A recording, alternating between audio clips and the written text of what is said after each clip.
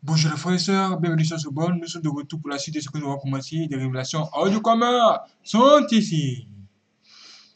Une femme va nous raconter comment son ami a volé son étoile.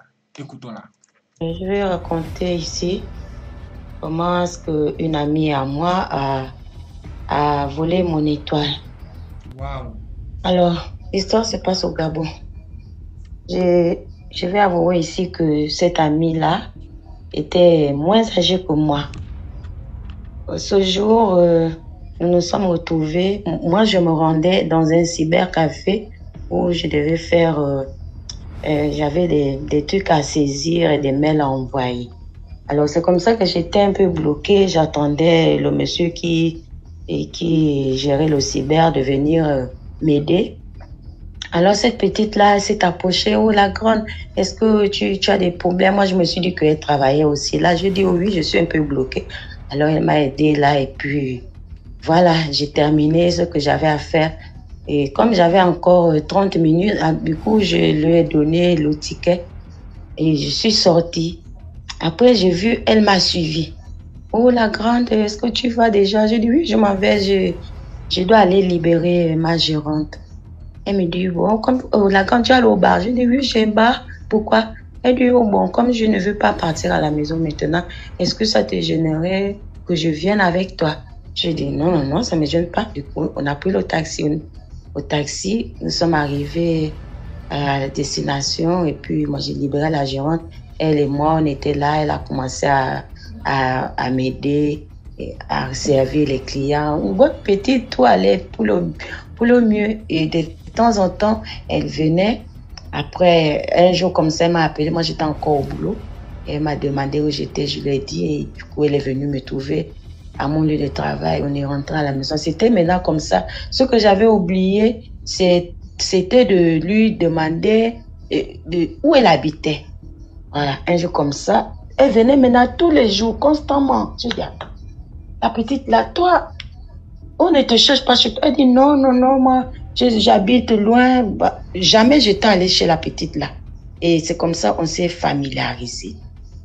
Et voilà, maintenant, un jour, elle arrive tard dans la nuit. Il faisait minuit moins, une heure du matin, quelque chose comme ça là.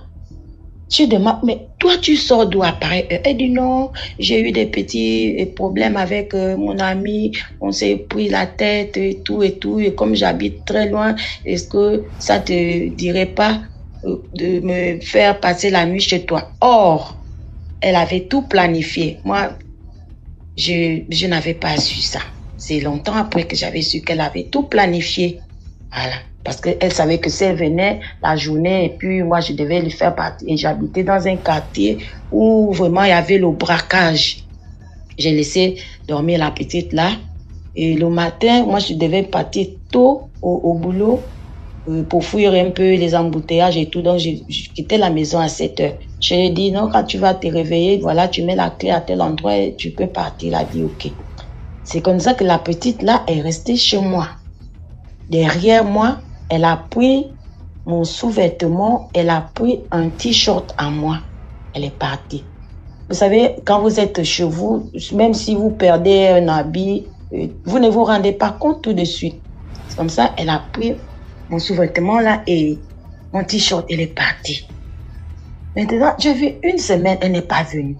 Deux semaines, elle ne vient pas. Je l'appelle, son téléphone, euh, elle- elle répond, oui, la grande, euh, d'accord, bon, je vais passer, je vais passer, il n'y a pas de souci. Ah, elle a fait comme ça deux mois, trois mois, elle ne venait plus. Et lorsque je, la, je, je, je rappelle la petite là, son téléphone ne passait plus. Ah, j'ai laissé tomber. Je me, suis dit, bon, peut-être elle a dû changer de téléphone ou, ou je sais pas, c'est passé comme ça. Du coup, j'ai commencé, j'ai perdu mon boulot. Au bout de trois mois là, j'ai perdu mon boulot. J'ai fermé mon bar et tout a dégringolé dans ma vie comme ça là. Je ne comprenais rien. Tout ce que je voulais, pouvais entreprendre, tombait. Rien ne prenait. Rien, vraiment, rien de chez rien. Je suis tombée du, du, au bas de l'échelle. Je suis restée dans cette galère, galère là pendant deux ans. Je ne comprenais rien. je me suis posé mille et une questions. Qu'est-ce qui m'arrive? Je cherche même les petits boulots minables. Je ne trouve pas. Ah, ça c'est quoi, Seigneur? C'est comme ça que j'ai adhéré dans une église. J'ai commencé à prier. J'ai commencé à prier.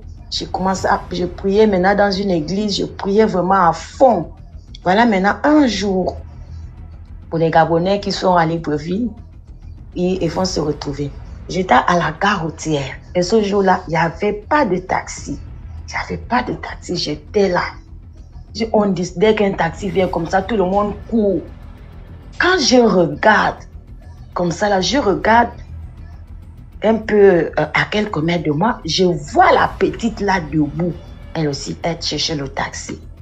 Lorsqu'elle m'a vue, parce que moi j'allais vers elle pour lui demander tout simplement qu'est-ce qui se passe? Pourquoi est-ce que tu m'appelles? Pourquoi tu ne viens plus à la maison? Je n'avais même pas l'idée qu'elle m'avait pris quelque chose. Moi, je partais vers elle pour, euh, pour prendre des nouvelles, savoir pourquoi est-ce qu'elle ne répondait plus au téléphone. Elle a couru comme si elle avait vu un fantôme. La petite là, couru à toutes jambes. Je dis, attends, elle fait pourquoi? J'ai même essayé de la suivre. Elle a couru comme ça là. C'est maintenant, longtemps après, que j'ai eu la révélation qu'elle avait, elle avait pris euh, euh, mes- mon, mon sous-vêtement et, et mon t-shirt pour aller, aller faire des, des pratiques. Euh, Dieu a fait grâce. Euh, j'ai j'ai repris euh, et tout allait maintenant un peu, un peu, un peu jusqu'à ce que, bon, je suis quitté au Gabon et tout allait maintenant mieux pour moi. Donc, c'est pour dire comme on est, on est là pour sensibiliser, que l'apparence ne nous trompe pas. Que vraiment l'apparence ne nous trompe pas, mais nous, nous devons nous méfier vraiment.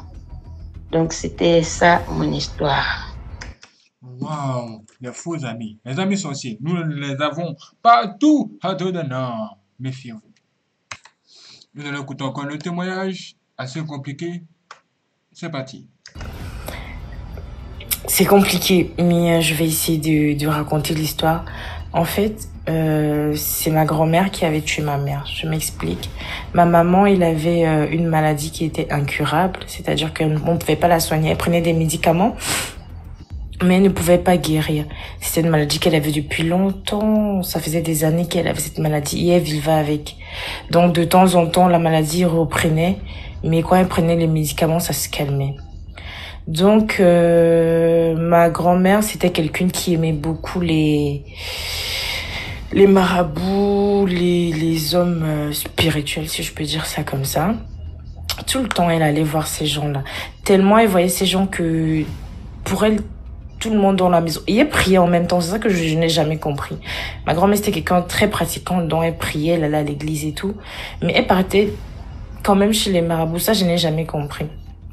Donc, euh, de temps en temps, elle amenait ma mère, je ne sais où. Parce que ma mère, forcément, euh, elle ne, parfois quand sa maladie euh, commençait, elle n'arrivait pas à prendre soin d'elle. Donc, euh, c'est ma grand-mère qui prenait soin de ma mère. Donc parfois il amenait chez ces gens-là. Mais on a dit à ma grand-mère, il faut arrêter de faire ça parce que ça ne sert à rien. C'est une maladie, ça ne va jamais guérir. Ce n'est pas en l'emmenant chez tes, chez tes gens-là qu'elle va guérir. Quand elle prend les médicaments, ça va mieux juste. Il faut essayer de lui donner ses médicaments régulièrement. Et ma grand-mère, elle aimait tellement. Ça, je n'ai jamais, elle adorait aller chez ces gens Moi, j'ai jamais compris ça. Et, et, en même temps, elle partait à l'église. Bref, je vais essayer de faire court.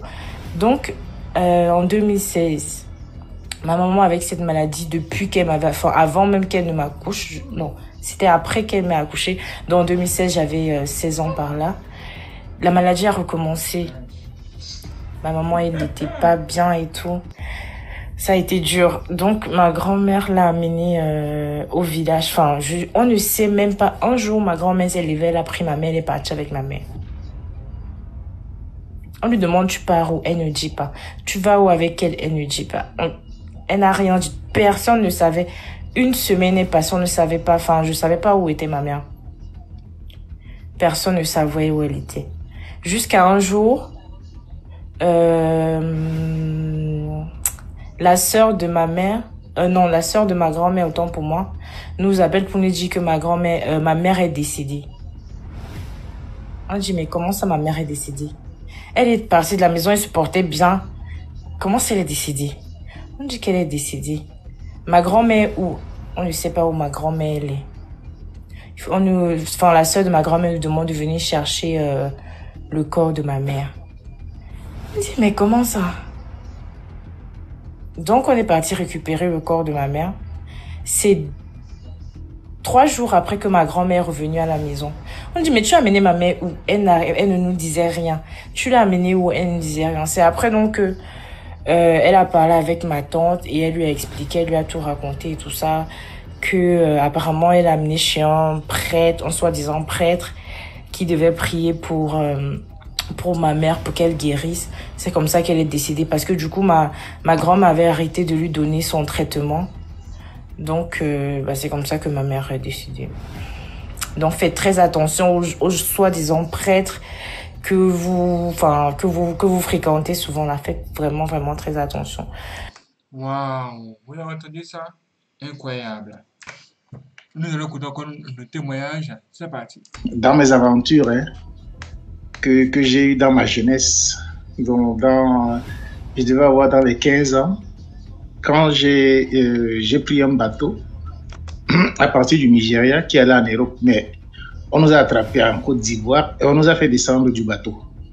Alors, bon, moi je ne pouvais pas déclarer que j'étais Camerounais. Parce qu'au Cameroun, en ce moment-là, quand, quand on te te- tu faisais au moins six mois de prison. Donc, dans la cellule où on nous avait mis en Côte d'Ivoire, à Abidjan, pour attendre chacun son tour euh, de rapatriement, parce qu'ils voulaient me rapatrier en Guinée équatoriale. Alors, je dormais juste à côté de la porte de la cellule. C'est la cellule du port, hein, le grand port d'Abidjan. Les Ivoiriens doivent connaître. C'est juste, c'est le commissariat qui est au port. Alors, il y a un jeune qui dormait juste à côté de moi. C'est un gagnant. Et ce gars, il avait au moins 30 poussières d'années. Moi, j'avais dans les 16 ans, mais lui, il paraissait plus jeune que moi. Il paraissait avoir 12 ou 14 ans. Et, euh, c'était déjà comme une prison. hein. Il y avait des chefs de cellules et tout ça. Et c'est des gars qui priaient tout le temps, c'est des Nigériens. Alors un jour, euh, ce jeune gagnant s'est fâché avec une, autre personne. Ils ont failli bagarrer, mais ils n'ont pas bagarré. Et euh, cinq minutes après, on a écouté ce jeune gagnant frapper sa tête contre le mur des toilettes. Dans, il y avait des toilettes, il y avait deux chambres. La cellule était divisée en deux séparées. Il frappait sa tête très fort contre le mur. Ça faisait un grand bruit. Tout le bâtiment tremblait. Nous sommes allés l'attraper pour le, séparer. C'est comme s'il voulait se suicider. Mais il y avait des colosses gars. Les gars qui clandestinent les bateaux, tous c'est là où on les met. On n'arrivait pas à attraper ce petit-là. Il nous a fait tomber par terre. Après, il s'est renversé lui-même. On l'a amené jusqu'au milieu de la salle où on était. Et il avait l'impression d'avoir euh, une crise d'épilepsie. Mais il, disait, il disait un truc. Alors, il y a notre gagnant qui a, approché l'oreille et il a dit non, ce n'est pas une crise d'épilepsie. Si on a un peu de pain, on lui donne. Et avec un peu d'eau. Alors, il n'a même pas mangé. On a juste frotté sa bouche avec un peu de pain et avec un peu d'eau. Et puis, c'est comme s'il est revenu en lui. Et il est revenu en lui, il nous a regardé, il a eu un peu honte. Alors, je vous expliquer. Ça faisait déjà une semaine que j'étais dans cette cellule avec euh, tous ces gens. Et ce gars, il dormait à côté de moi et il ne dormait que dans la journée. Il couvrait sa face avec un t-shirt blanc. Toute la journée, il était couché. Et dans la nuit, quand je me lève peu aller uriner, il est assis. Et tout le monde ronfle, tout le monde dort. Et lui, il est assis. Il ne dort pas dans la nuit. C'est comme ça tous les jours. Alors, ce jour, après qu'il a eu cette crise d'épilepsie, après qu'il s'est fâché, il a failli bagarrer, ce sont les nerfs qui l'ont envoyé dans ce système. hein. Alors, dans la nuit,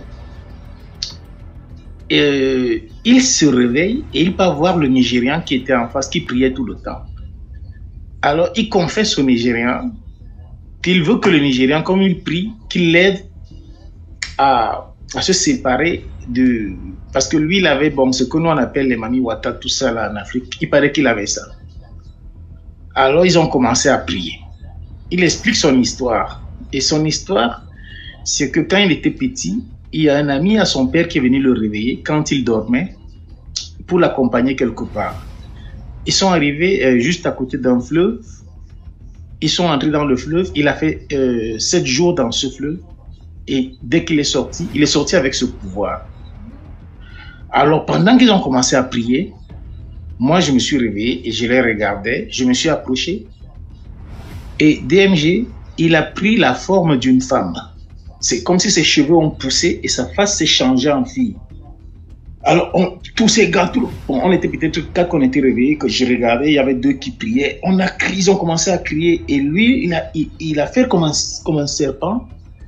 Il s'est mis juste en bas de l'escalier, parce qu'il y a l'escalier du chef qui va en haut. Et ça, ça faisait une courbe dans notre cellule. Et alors, il s'est mis juste en bas, comme s'il voulait se cacher en bas de cet escalier-là. Tout, tout le monde s'est réveillé. Alors on disait, c'est quoi? Maman, j'ai dit, j'ai vu que c'était une fille. Tout le monde avait vu qu'il s'est transformé en femme. Les cheveux ont poussé et tout. Ce gars n'a pas pu, on a demandé de sortir de là et d'aller à sa place dormir. Il n'a pas pu sortir de cet endroit. Parce qu'il ne pouvait pas marcher. Il était paralysé de, euh, à partir des reins jusqu'en bas. Donc ses pieds étaient paralysés. Il ne pouvait pas utiliser ses pieds. Il a rampé au sol jusqu'à sa place. Alors cette nuit, j'ai dit je dors plus à côté de lui, je ne voulais plus. j'ai refusé totalement. Et euh, il y a un ami qui m'a fait cadeau d'un collier. C'est un collier comme un, c'est un collier comme un collier catholique. Comme ça, qui, euh, ça avait un côté euh, comme argenté et de l'autre côté comme, comme un cristal qui en bleu. Alors l'histoire de ce gars-là, c'était fini. Là, cet ami m'avait donné ce collier comme une protection.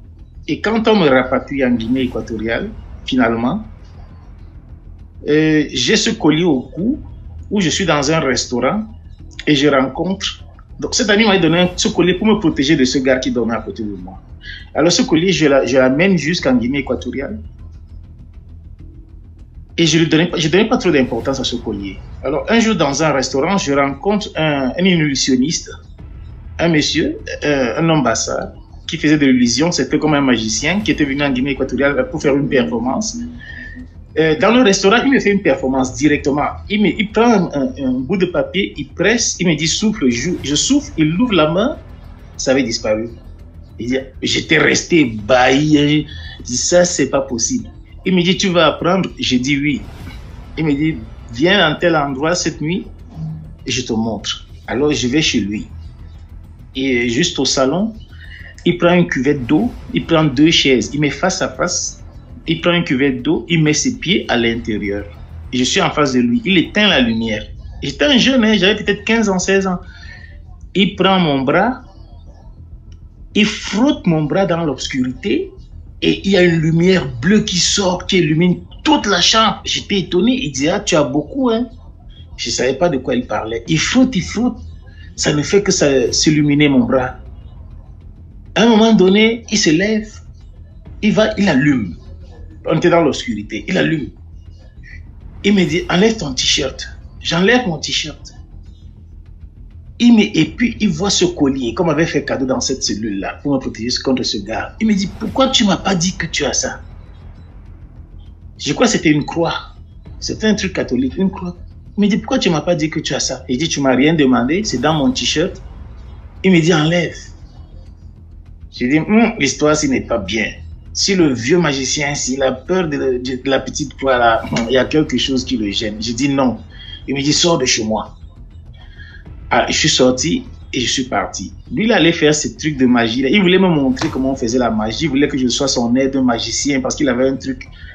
Je vous assure, lui, il, est parti en, prison en Guinée équatoriale à cause de ce truc-là, parce qu'il n'avait pas de choco. le gouvernement dont on a coupé la lumière quand il faisait ces choses mais j'étais sorti de chez lui, j'étais parti. Alors c'était pour, euh, c'est juste pour dire aux gens, euh, n'ayez pas peur quand les gens vous demandent d'enlever vos colliers au cou, ou bien quand vous êtes avec des gens qui, euh, qui ont de l'influence sur vous et qui veulent que vous fassiez des choses qui ne vous conviennent pas. Mais il faut jamais faire tout ce qu'on vous demande de faire. Parce que si j'enlevais ce truc-là sur mon cou, je sais pas, et puis j'allais aller en prison avec lui. Bon, c'était ma petite histoire. Hein. Waouh! Dites-moi ce que vous en pensez. Incroyable. Nous allons écouter encore le témoignage. C'est parti. Euh, moi, j'ai une petite histoire à raconter. Euh, c'est en Côte d'Ivoire. Et c'est une histoire que moi, ma maman m'a racontée. Voilà, elle a dit que il y avait un chauffeur de taxi. Lui, quand les autres contraient, lui restait là en circulation jusqu'à 1h, 2h du matin pendant que les autres garaient. Bon, peut-être dans ce moment-là, moi, j'étais pas encore née. Maintenant, elle a dit que un jour, il y a un chauffeur, et ce chauffeur, c'était elle, son ami, ils étaient dans le même quartier. Donc, il allait rouler comme d'habitude et il est arrivé à la forêt du Bonco. Et un coin où on appelle la forêt du Bonco et tout. Donc, il est arrivé, il avait un client. Ce client-là devait descendre. Et il voit une femme qui est arrêtée là devant. Mais il n'a pas vu tout son corps. Donc, il voit que la femme arrête la voiture. Il dit, ah d'accord, qu'il va aller vers elle. En ce moment, l'autre passager venait de descendre. Et en avançant, les phares de la voiture ont flashé sur les pieds de la dame. Et il voit que euh, y a, comment on appelle ça même? Que la femme, elle a les pieds de sabot. Et il a filé, il a fui. Il est arrivé à un coin où il a garé il y avait la lumière et tout. Donc là, il voit une femme encore qui vient. Mais en ce moment, elle était déjà à la porte. Et puis, elle a, elle a demandé à, monter encore dans la voiture. Et il a accepté. Cette dame-là, elle est montée, elle était derrière et tout. Donc, il lui dit, ah, madame, je viens de voir un truc tout de suite là, à, comment on appelle ça même, à la forêt du Ponco là. Ah, si tu as vu, ah, ce que je viens de voir là, vraiment. Si tu as vu les pieds de cette dame, il n'a même pas encore fini de parler. Cette dame lui montre les pieds, les pieds comme ceci. Il voit aussi les pieds des sabots. La portière, il veut ouvrir. Il peut pas. Donc il est sorti par, par les vitres puisque les vitres étaient baissées. Il est descendu par là. Il a commencé à courir. Il ne sait pas où il va. Il court, il court, il court, il court, il court. Il ne sait pas où il va. Il allait tomber sur, des gens là-bas qui passaient.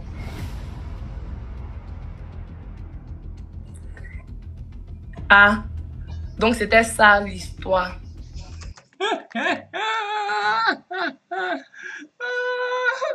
Ça peut arriver, mais c'est pas fini. Il y a encore la suite. Abonnez-vous, restez connectés sur notre bord.